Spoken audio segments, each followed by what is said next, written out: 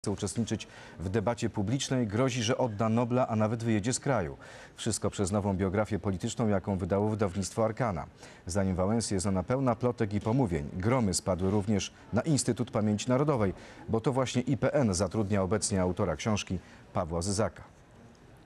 Ja nie, ja nie będę chodził jako agent na spotkania. Ja nie będę chodził jako zdrajca na, na tego. Nie będę mówił o okrągłym stole, jeśli to jest za zdradę uważano. Łącznie z Noblem? Łącznie, no oczywiście, przecież nie zasługuje, no proszę pana. Agent nie zasługuje na, na Nobla, aż y, powstanie jakiś prokurator wyznaczony albo ktoś inny, który w imieniu Rzeczypospolitej wyjaśni, przesłucha wszystkie możliwych świadków i, i, i powie, y, jak, jaka jest wersja wyjaśnionych, udokumentowanych zdarzeń, aby, aby nic podobnego nie powstawało za nasze pieniądze. Zapowiedzi wyprowadzania się z Polski są, powiedzmy sobie, wynikiem pewnego nastroju e, eksprezydenta. Chcę dzisiaj zaapelować do pracowników Instytutu Pamięci Narodowej i historyków, aby nie nadużywali środków publicznych, bo nie będą mogli ich w przyszłości używać, jeśli tak dalej to będzie wyglądało. praca, która wywołuje tyle emocji, nie powstała w Instytucie Pamięci Narodowej. e, Nie, nie jest związana z żadnym programem badawczym Instytutu Pamięci Narodowej. IPN ma szansę przetrwać tylko pod warunkiem, że będzie instytucją ideologicznie i politycznie neutralną. Mm, Instytut jest instytucją niezależną, e, działającą w oparciu o ustawę polskiego parlamentu, zaś w Polsce mamy wolność słowa i wolność badań naukowych. Nie wydaje mi się, żeby e, trzeba było stosować aż tak wielkie e, kryteria, jakie Pan sugeruje, dla zatrudnienia pracownika w pionie archiwalnym do pracy na kserokopiarce. Nie warto za publiczne pieniądze utrzymywać środowiska, które niszczy autorytety i e, podważa wiarygodność polskich przemian. Ja bym oddzielał publikację tej książki od e, działalności IPN-u, a już e, wpływ e, na budżet IPN-u, ograniczanie budżetu IPN-u uważam za, za rzecz e, szkodliwą. A w naszym e, studiu kolejni goście, profesor Andrzej Nowak, historyk Uniwersytetu Jagiellońskiego, promotor pracy magisterskiej Pawła Zyzaka, która ukazała się teraz w formie książki Lech Wałęsa, Idea i Historia. Dobry wieczór. I pan poseł Andrzej Celiński, działacz demokratycznej opozycji, z którym autor książki jako jednym z kilku świadków historii rozmawiał, przygotowując tę książkę. Witam panów serdecznie. państwa. Panowie, na początek, zanim przejdziemy do oceny samej książki, chciałbym poprosić o komentarz do tego, co działo się dzisiaj wokół Instytutu Pamięci Narodowej, do, o komentarz do wypowiedzi premiera Tuska. On powiedział tak, IPN ma szansę przetrwać tylko pod warunkiem, że będzie instytucją ideologicznie i politycznie neutralną. Jak pan przyjął te słowa premiera? Profesor Nowak. Wydają mi się e, nie na miejscu ze względu na okoliczności, w których zostały wypowiedziane. Książka rzeczywiście nie powstała w Instytucie Pamięci Narodowej, tak jak powiedział prezes Kurtyka, i rzeczywiście nie powstała za pieniądze związane z Instytutem Pamięci Narodowej. A więc istotnie chyba niedobrze byłoby wiązać ją. e, Dyskusję w ogóle o tej książce, jaką być może będziemy za chwilę prowadzili e, z Instytutem Pamięci. Jest to kolejna forma nacisku na instytucję, która wydaje mniej więcej 200 książek rocznie, o ile się nie mylę, we własnym zakresie, we własnym budżecie, z których większość ma wysoki poziom naukowy, a moim zdaniem znakomita większość ma bardzo wielkie znaczenie dla kształtowania świadomości historycznej. Być może stało się tak dlatego, że od pewnego czasu autor książki, pan Paweł Zyzak, jest zatrudniony w Instytucie Pamięci Narodowej, Andrzej Celiński. Nie ma większego znaczenia, bo tam jest zatrudniony na etacie e, administracyjnym, technicznym i od niedawna. E, Znaczenie ma to, że od e, właściwie początku funkcjonowania Instytutu Pamięci Narodowej mamy do czynienia z polowaniem z nagonką na e, dobrą pamięć e, Polski o swojej własnej niepodległości, a zwłaszcza o instytucjach i ludziach, którzy tę niepodległość niekiedy mocno ryzykując swoim osobistym życiem, wywalczyli. I w centrum uwagi, e, tej negatywnej uwagi, e, także instytucji państwowej, jako jest IPN, jest Lech Wałęsa jako e, zły człowiek. E, Rzeczywiście w tej ostatniej sprawie e, to jest problem nawet nie IPN-u, nawet nie e, e, pana Zyzaka, co mnie się zdaje bardziej pana promotora, znaczy pana profesora Nowaka. Bo przy 23-4-letnim magistrancie rola profesora prowadzącego pracę jest absolutnie dominująca.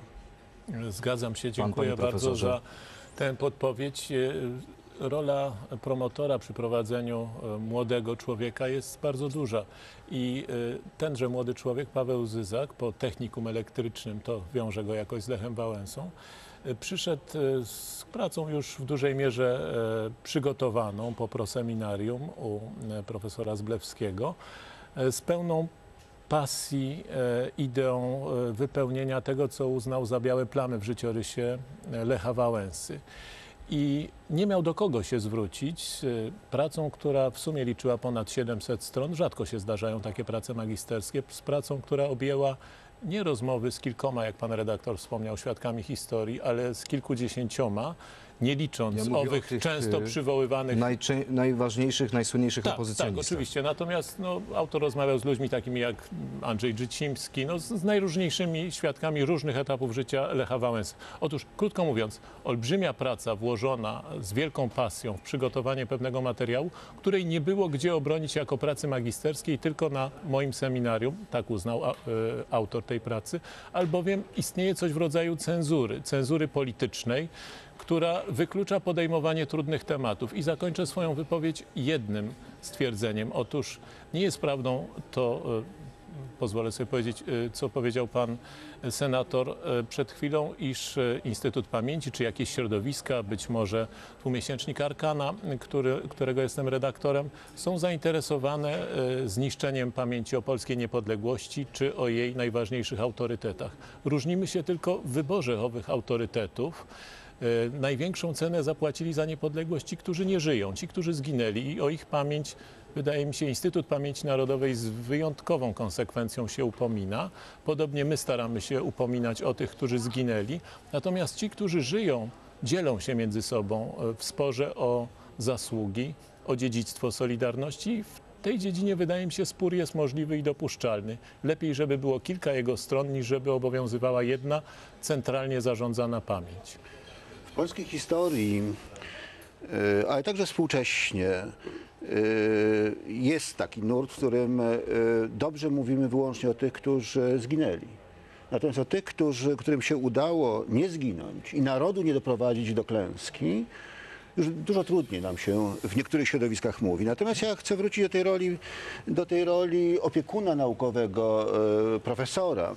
Otóż tak się złożyło, że e, pański magistrant 38 razy przywołuje moje nazwisko, e, niekiedy cytując e, moje wypowiedzi. Otóż na 38 przypadków przywołania mojego nazwiska w tej pracy, ja to sobie dokładnie wszystko pozaznaczałem, 16 przypadków są to cytaty albo twierdzenia, albo wprost nieprawdziwe, albo w, w znacznej części nieprawdziwe. Ale czy pan chce powiedzieć, panie Zaczynając- pośle, że zmanipulował pańską wypowiedź?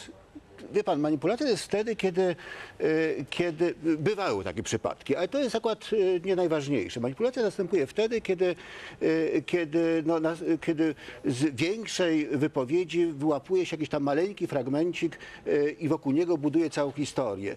Są takie przypadki, ale ja akurat na te przypadki tak bardzo wielkiej uwagi nie zwracam, ale są przypadki całkowitych zmyśleń, takich faktów, zdarzeń, które w ogóle nie miały miejsca, albo miały miejsce zupełnie przeciwstawne zdarzenia opisywanych.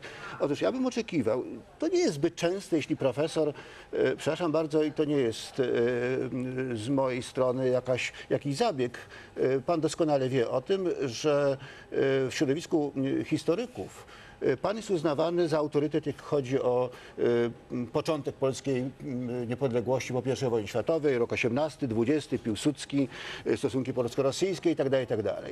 E, Trochę y, inaczej mówią historycy, kiedy dziwiąc się, kiedy wchodzi pan e, w e, sprawy związane bezpośrednio z pańskimi przeżyciami ideowymi, związanymi z czasem najnowszym.